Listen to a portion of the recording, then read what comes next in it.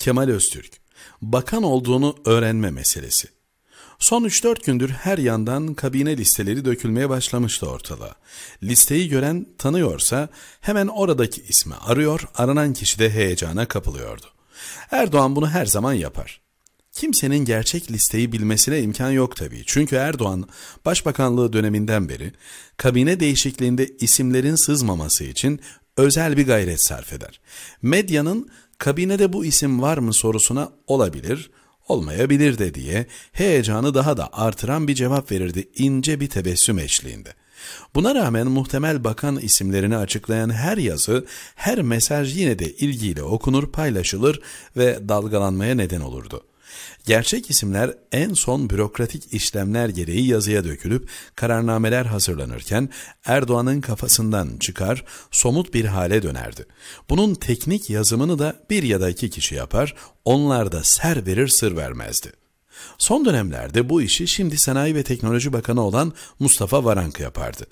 Acaba son listeyi yine o mu yaptı? Düşünsenize Erdoğan Varank'a şöyle diyor. Yaz Sanayi ve Teknoloji Bakanı Mustafa Varank. İnsan kalpten gider. Havaalanında bakan olduğunu öğrenmek. Eskiden muziplik olsun diye bazı milletvekillerini arar, abi nerelerdesin diye sorar, heyecanla hayırdır diye cevap alınca e, yok bir şey öylesine sordum derdik. O gün gariban vekil sabaha kadar uyumazdı. Son kabine açıklamasından önce yaşanan dalgalanmalar abartılı oldu biraz. Kabine listesi nizami döküman izlenimi verilmiş halde sosyal medyada dolaştı, haber oldu, telefonlar susmadı. Ben tabii itibar etmedim listelere. Listenin açıklanacağı saati bekleyin, heyecan yapmayın desem de kimseye laf dinletemedim. Külliyedeki törenlere katıldık, orada da her gören bakan ismi sordu durdu. Törenler bitti, liste merakı bitmedi. En son tüm bakanların fotoğrafları olan bir liste düştü medyaya. Ben yine itibar etmedim. Artık dönüş yoluna girdik, havaalanına gittim, boş gördüğüm bir koltuğa oturdum. Yanımda bir hanımefendi sürekli telefonla konuşuyor, çağrıların biri bitip öbürü başlıyordu. Şaşırmış halde bilmiyorum, inan bilmiyorum diye karşısındakini ikna etmeye çalışan hanımefendi işin başından açtığını fark etmiş olacak ki çağrılara cevap vermemeye başladı. Bir yandan da acele acele eşyalarını topluyordu. Bakan oldun diyorlar. Hanımefendi ne oldu dedim ilgiyle. Sempatik ama kargaşanın içine düşmüş bir halde e, herkes beni arıyor, bakan oldun diyor. Bilmiyorum diyorum, inanmıyorlar. Şimdi Cumhurbaşkanlığına çağrıldım, oraya gitmem lazım. Ama telefonlardan şoför arkadaşı çağıramıyorum. Gidip öğreneceğim külliyede ne olduğunu artık.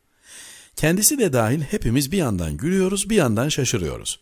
Bir yandan ya gerçekse diye soruyoruz. O esnada bir bey geldi, hanımefendiyi kargaşanın ortasından kurtardı. Ben son gelen kabine listesini açtım baktım. Hanımefendinin fotoğrafı vardı ve altında Ticaret Bakanı Ruhsar Pekcan yazıyordu. Kesin bakan oldu dedim kendi kendime. Sonradan anladım ki açıklamanın geç başlamasının nedenlerinden biri de yeni Ticaret Bakanı'nın Cumhurbaşkanlığına ulaşmasını beklemekmiş. Her gazeteciye nasip olmayacak olay. Gazetecilik hayatımda ilk defa başıma geliyor böyle bir şey. Sanırım çok az gazeteciye nasip olacak bir olay. Tabii mesleki refleksle yaşadığım olayı Twitter'da paylaştım. O esnada canlı yayında olan Habertürk'ten Didem Aslan hemen benim tweetimi paylaşınca büyük gümbürtü koptu. Son sızan listenin doğru olduğu kanaati pekişti insanlarda. Neredeyse tüm internet siteleri ve televizyonlar da bu olayı haberleştirdi tabii. Olayın kendisi başlı başına hem çok sempatik hem de unutulmaz bir olay. Düşünsenize kendi başınıza geldiğini, insanın ömrü boyunca her fırsatta anlatacağı bir hikaye. Hem güvenlik hem devlet geleneği. Bunun hoş bir anı olması kadar güvenlik ve devlet geleneğinde ayrıca bir yeri vardır.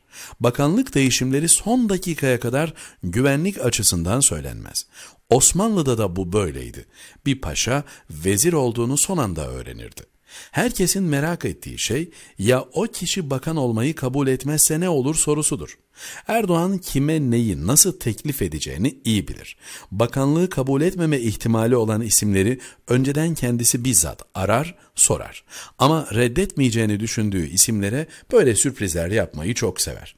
Tabii bir gazeteci olarak buna tanıklık etmekte ayrı bir keyif. Şimdi bilmediği numarayı açmayan kişilere söylüyorum. Daha birçok önemli kurumun başına, yönetimine isimler atanacak. Siz olun, Telefonunuzu açık tutun. Her gelen aramaya da cevap verin. Devlet kuşu her an başınıza konabilir. O zaman hemen beni arayın ben duyurayım. Kemal Öztürk, Yeni Şafak